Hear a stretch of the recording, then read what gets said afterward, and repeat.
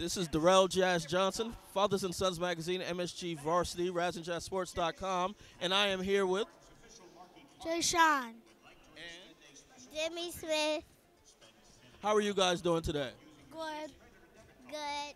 Now I see you're both wearing whose jersey? Uh, my my uncle Chris. Daddy's.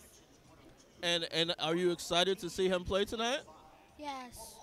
Yes. What do you guys enjoy most about watching him play? Uh, throwing the basketball. Bouncing the basketball. Do you guys jump up and down a lot when he's playing? Do, do you like doing that when he's playing? Yes. When he makes a three pointer, does he come over here and slap you five? Yes. Yes. That's good.